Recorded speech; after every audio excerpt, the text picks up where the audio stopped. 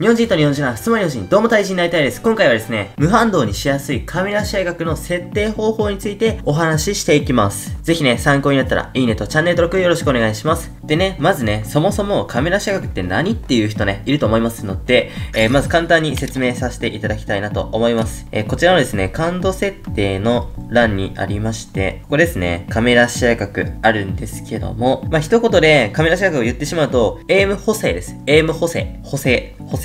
補正をかけてくれるものです。なので、00であれば補正は全くかかりません。じゃあまずね、水平20からやってみましょう。水平20にするとですね、この縦方向のエイムですね。これがピンとね、綺麗にまっすぐ行くようになります。で、指がね、多少左右にずれても、まっすぐエイムが動きますので、手がね、震えてても、えー、まっすぐね、こんな感じで動いてくれます。横方向は自由ですね。横方向は、縦だけまっすぐっていうような仕組みになっています。で、もう一方のですね、垂直20を考えてみましょう。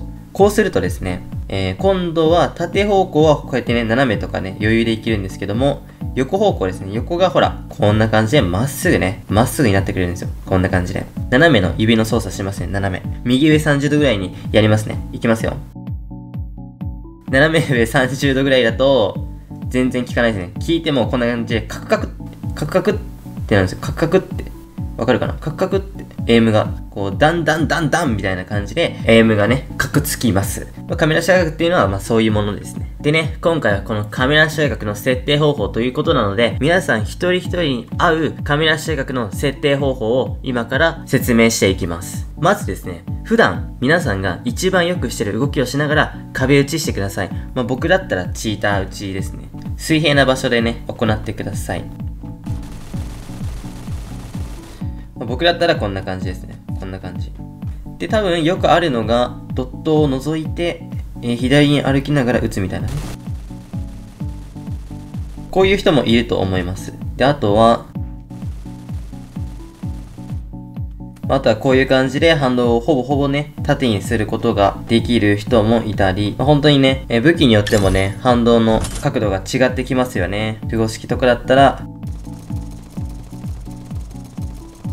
まあ、空式とかだったら棒立ちですとこんな感じの角度になりますよね。まあ、皆さんも、えー、普段ね、一番よくしてる動きをしながらこんな感じでね、壁打ちしてください。でね、えー、このね、壁に残った弾痕の縦と横の比率を視野角の水平垂直に当てはめると綺麗にリコイルしやすくなり無反動にしやすくなりますでまあさっきもね説明したと思うんですけどもあの視野角をね、まあ、2015とかみたいな感じに設定しちゃうとその比率に合わせてね1520とかに設定しちゃうとエイムがねこんな感じでカクつくんだよねカクつきやすくなってしまってかえってリコイルしづらいという風になってしまいますのでえ可能な限りね視野角は下げましょうまあ、そういったね、考えのもと、具体例を一緒に見ていきながら、自分に合うカメラ視学を見つけていきましょう。まあ、これパターン1のやつなんだけども、このね、比率っていうのは、パソコン上で長さを測ったんですけども、皆さんはね、その弾痕スクショして、そのスクショしたものをその定規でね、縦横測ってもらって構いません。まずね、パターン1なんですけども、こちらの比率っていうのがね、水平垂直で1.9対1ということが分かりました。まあ、なので、カメラ視学のね、候補として、2対1、4対2、6対3、8対4、10対5、12対6、14対7、16対8、18対9、20対10が挙げられます。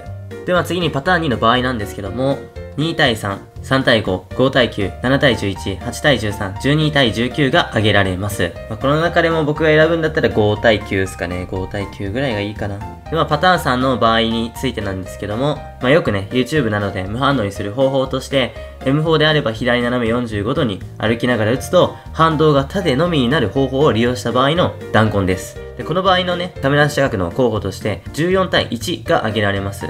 もしも反動をきれいに縦のみにすることができるのであれば、理論的には20対0がベストです。ですけども、実際のね、M4 猛者の方々は20対5や20対3になってたりすると思います。その理由はですね、敵が横移動した時にエイムを合わせやすくするため、あとは毎回100%綺麗に垂直に反動を縦にできるわけではないからだと思います。まあパターン3だったたら20対3、20対5、まあ、どっちでもいいかなっていう感じはしますね。20対5かな。では、パターン4の場合のカメラ視学の候補として、5対3、7対4、10対6、12対7、10対17が挙げられます。パターン5の場合のカメラ視覚の候補として、2対15が挙げられます。こちらも反動をきれいに水平にできるのであれば、理論的には0対20がベストです。パターン6の場合ですが、これはキャラコン猛者やゲリラ猛者にありがちな弾痕です。この場合は、試合角は00を基本にした方がいいです。まあ00がね、一番どんな動きにも対応できるようなカメラ視角になっています。だからまあ本当にキャラコン猛者同士の近距離戦とかは、カメラ視角は00が一番いいです。まあちなみに、チーター打ちに合うカメラ視角という話なんですけども、チーター打ちのその弾痕の角度って独特で、左に走っても、こんな感じだし、右に走っても、こんな感じなんだよね。ほぼね、同じ角度なんだよ。だから、あの、5対9で、もう、左に走ってても、右に走ってても、どっちでもね、無反応にしやすいんですよね。5対9とか。まこれがね、ちょっとね、チーター打ちのまたずるいところなのかなという気もしてます。左に走っても右に走っても弾痕の角度が一緒っていうね、そういった強みもチーター打ちにあるんだなと思います。で、まあ注意点なんですけども、まあ無反応にできたからといって強いわけではないです。M4 モサのね、キルシューとか見てみるとわかるんですけども、敵がまっすぐ走ってる時とか、敵が一方通行に走ってる時とか、そういった場合ぐらいなんですよね。無反動にしててよかったなーっていう時って。まあ基本的に敵はね、くねくねくねくね動きますから、そういった敵に対しては、こういうね、カメラ視角を設定したとしても、かえってエイムを合わせにくいんですよね。まあなので、ゲリラとかね、出るような方は、カメラ視角あまりね、上げずに00を基本にした方がいいとは思いますよ。はい、じゃあね、今紹介したカメラ視角2パターン使ってみて、実践していきたいと思います。それではやっていこう。はい、それじゃあね、やっていきましょう。1試合分だけね、えー、どんなもんなのか。まあ、ドットもね、今回使っていきたいなと思います。一応ね、えーチーター打ち用の視野角にはなっています。号泣ですね。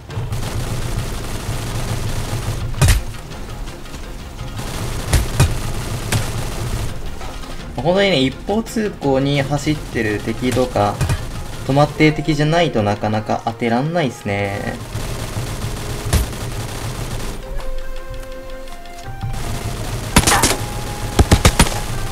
今みたいな敵はチャンスなんだけども、ちょっとエイムがね、良くなかった。はい、こんな感じ。ナイス。で、ドットのカメラ視角にすると、えっとね、縦にすればいいから、こうだ。23でいきましょう。死ぬ。死ぬガチで死ぬ。あーやらかした じゃあ次はね、ドット使ってやっていきます。さあ、やっていきましょう。カメラ視角がですね、23ですね。23、24。はい。いきますドットだと逆に当たる気がしないんだけど。普段ドット使ってないんでね。うん、もっと使おう。あの、限りなく無反動なのではないんでしょうか。わかんないけど。当たんないっすね。まあ、こんな感じですね。当たってないですけど。頭当たってないけど。ちゃんと左前に歩いて、下に下ろすだけ。左前に歩いて、下に下ろすだけ。ちゃんとね、腰打ち100日特訓ね、終わったらドットも極めていきたいなとは思ってますけども。あと2人だからな。パパッと終わらせましょう。